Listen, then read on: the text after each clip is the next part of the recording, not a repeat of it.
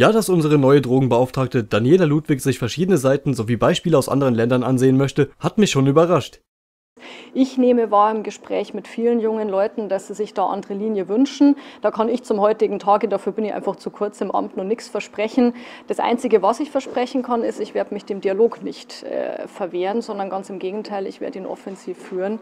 Mit Psychologen, mit Medizinern, Strafrechtlern, aber auch den zuständigen Verbänden, um mir mal versuchen, ein Bild zu machen, wo die Reise denn hingehen könnte. Und erlauben Sie mir den letzten Satz. Ich werde mir auch andere europäische Länder anschauen, äh, die zu dem Thema auch eine sehr unterschiedliche Politik betreiben.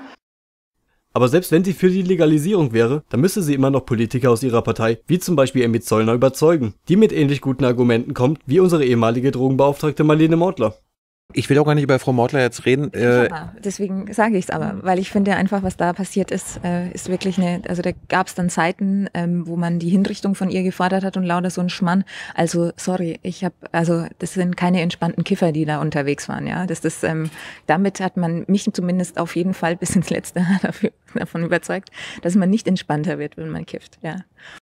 Ja, auch wenn ich jetzt schon drei Videos über Emmy Zollner gemacht habe, gibt es immer noch Aussagen der Legalisierungsgegnerin, die wir uns noch nicht angesehen haben. Also habe ich für euch die letzten Aussagen von ihr zusammengefasst, um das Kapitel vorerst abschließen zu können und zu sehen, welchen Aussagen sich Daniela Ludwig potenziell stellen müsste, falls sie zu dem Entschluss käme, Cannabis legalisieren zu wollen. Also lasst uns alle nochmal zusammen die flache Hand auf die Stirn klatschen, denn das wird bei den folgenden Aussagen nötig sein.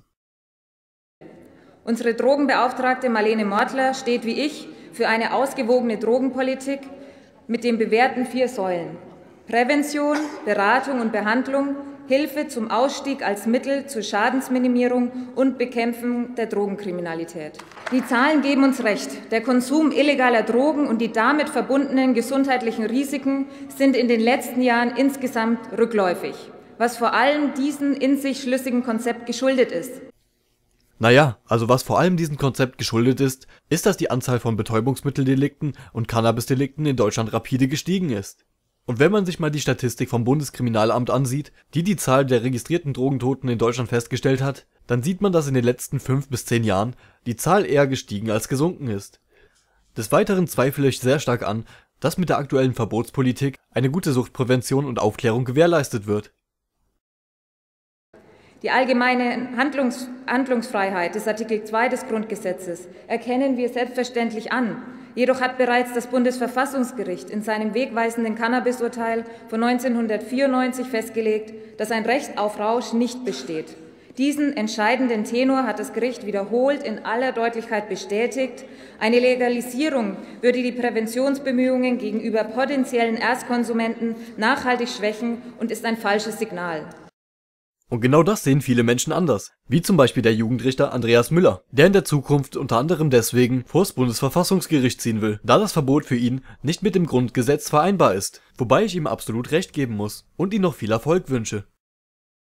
Sozialer Abstieg beginnt nicht mit der Kriminalisierung, sondern ist oftmals eine Begleiterscheinung des Drogenkonsums selbst. Okay. Ich bin der Ciro Pagnozzi, bin 40 Jahre alt und habe drei Kinder und Frau. Wurde hier in der JVA unrechtmäßig eingesperrt. Am 8. November bin ich eingecheckt. Am 29. heute bin ich wieder ausgecheckt. Ich finde es nicht richtig. Ich habe niemanden geschadet, niemand vergewaltigt, niemand bestohlen, ermordet. Ich habe nichts gemacht. Ich habe niemanden geschadet und habe hier drin hocken müssen. Der regelmäßige Konsum illegaler Substanzen verändert die Persönlichkeit, er schädigt die Gesundheit und treibt die Menschen in die soziale Isolation. Speziell im Betäubungsmittelrecht hat das Bundesverfassungsgericht in seinem Cannabis-Urteil festgelegt, dass bei geringem individuellem Unrechts- und Schuldgehalt die Möglichkeit besteht, von der Strafverfolgung abzusehen. Gerade hier wird einer unnötigen Stigmatisierung heute schon entgegengewirkt und der Staat wird dem Verhältnismäßigkeitsgrundsatz gerecht. Also meiner Meinung nach ist das nur ein Tropfen auf den heißen Stein und eine gute Möglichkeit für die CSU und CDU, sich für die weitergehende Strafverfolgung zu rechtfertigen. Mehr nicht. Was ihr darüber denkt, könnt ihr mir ja gerne in den Kommentaren da lassen. Es ist und bleibt uns ein zentrales Anliegen, den Handel mit Betäubungsmitteln zu bekämpfen. Doch weder die Entkriminalisierung noch die Legalisierung können geeignetes Mittel sein, der Drogenkriminalität ihrer wirtschaftlichen Grundlage zu entziehen.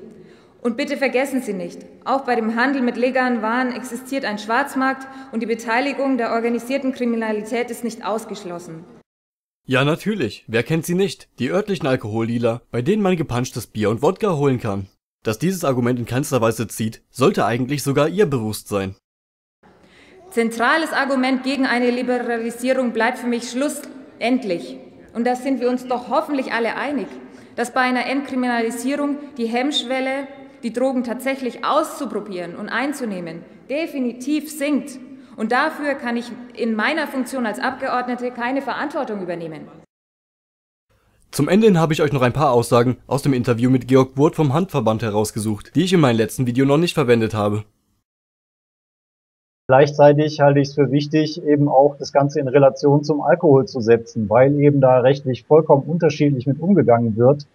Ja, und ähm, dann ist es einfach so, dass wir, gerade wo ich aus Bayern komme, ähm, haben wir natürlich da eine gewisse Kultur, was zum Beispiel äh, den Bierkonsum angeht. Ja, und das kann man einfach nicht ausblenden. Es ist einfach so, dass es in verschiedenen Ländern unterschiedliche Prägungen gibt. Ja, und dann habe ich in den arabischen Ländern, da ist Alkohol verpönt.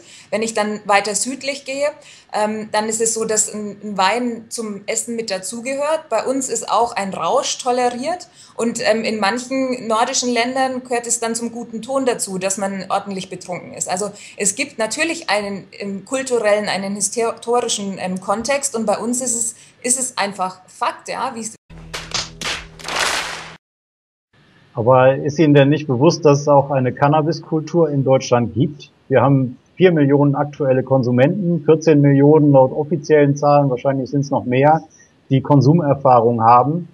Und äh, das geht quer durch alle gesellschaftlichen Schichten. Da gibt's auch jede Menge Leute, die eben zum Beispiel den Joint zum Abendessen, wie sie sagen, das Bier zum Essen eben dann äh, Cannabis bevorzugen.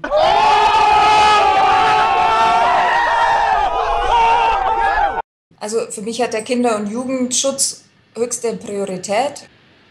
Ich denke, gerade weil der Staat eine Schutzfunktion hat, sollte er diese auch wahrnehmen und die ist nicht gewährleistet, wenn der Staat Millionen von Konsumenten auf einen Schwarzmarkt schickt, wo auch gestrecktes Cannabis unterwegs ist, was eine zusätzliche Gesundheitsgefährdung für die Leute ist, sondern es wird Zeit, diesen Markt zu regulieren, zu besteuern und äh, Dinge wie Jugendschutz einzuführen, Qualitätskontrolle, Werbeverbote gehören natürlich auch dazu. Da gibt es eine Menge sinnvolle Regulierungen und Maßnahmen, die viel besser sind als der jetzige Schwarzmarkt. Und die Legalisierung kommt sowieso. Der weltweite Trend ist eindeutig. Wir müssen uns mal langsam überlegen, wie wir das organisieren wollen mit der Legalisierung, bevor wir am Ende die letzten Deppen sind, äh, die völlig ohne Plan dastehen. Das war meiner Meinung nach das passende Schlusswort für das Video. Wie ihr seht, hätte es unsere neue Drogenbeauftragte Daniela Ludwig nicht leicht, selbst wenn sie für die Legalisierung wäre. Denn von Politikern wie Emmy Zollner gibt es leider zu viele in der CSU. Ein Beispiel wäre da Stefan Pilsinger, der genauso gegen Cannabis wettert und in der Vergangenheit mit so etwas auf sich aufmerksam gemacht hat. Mir geht es nicht darum, mich falsch anzubiedern, sondern um die Gesundheit der Menschen. Deshalb will ich eine Welt mit weniger als mit mehr Drogen. Vielen Dank.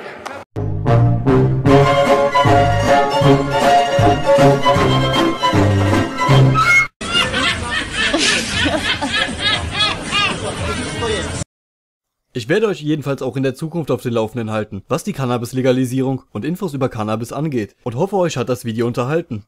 Falls euch noch weitere Politiker einfallen, die Äußerungen dieser Art gemacht haben und über die ich noch kein Video gebracht habe, dann würde ich mich über einen Vorschlag sehr freuen.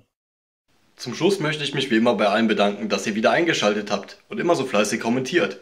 Falls ihr jetzt noch Lust habt, dann könnt ihr euch noch eins meiner anderen Videos ansehen. Ich würde mich jedenfalls darüber freuen.